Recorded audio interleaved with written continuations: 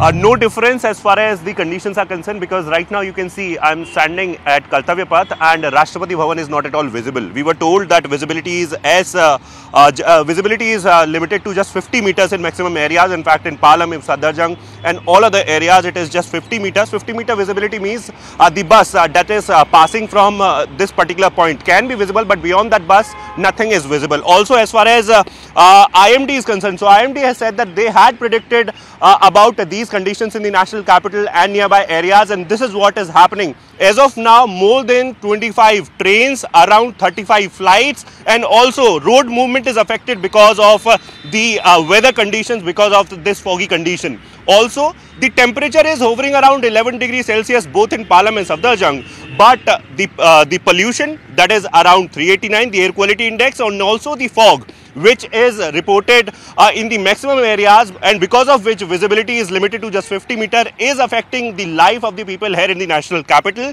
and IMD has said that this is not going to improve even in uh, the days to come. We are getting, we are not expecting any sort of relief in the days to come and people are somewhere affected, the life is somewhere affected. Uh, you know, around 8.30 at 8.15 or 8.30 time. And uh, you know, at this point in time, this is the uh, time when, uh, you know, uh, students are going to their schools, professionals are going to their offices and uh, you know uh, at the same time uh, when you have the peak hours you know a lot of people come out of their homes to uh, you know go to their routine work and to their offices and this is the reason advisory has been issued by IMD saying that if it is not very crucial if it is not very important just then just avoid travel because at this point in time visibility is as low as 50 meters. As far as train movement is concerned, so we know that how badly train movement is impacted because more than 25 trains that are approaching Delhi or passing from stations like uh, Anand Vihar, Delhi, New Delhi,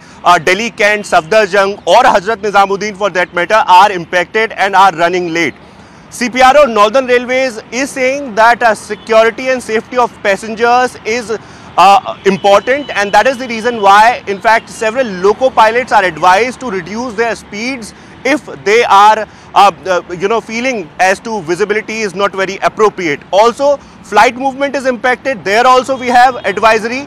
And uh, uh you know IMD is clearly saying that people have been advised that if uh, if it is not very important then just avoid traveling via road. So these, these are the kind of advisories uh, that have been given by the authorities. But at this point in time, once again, if I can show you the visuals, Narendraji will uh, try to show you the visuals from this particular point. This is Rafi Marg, one of the important roads in central Delhi. And you can see that, uh, you know, uh, vehicles are there, vehicles are moving at normal speed because uh, in, in this particular area, you know, we have got improved visibility. But in other areas, visibility is as low as 50 meters. In some areas, it is 70 meters. In fact, in the outer areas, in outer Delhi parts, uh, you know, it is just 30 meter or 40 meters. So, life is impacted and people are getting affected because of the conditions, because of the foggy conditions, the weather, weather conditions.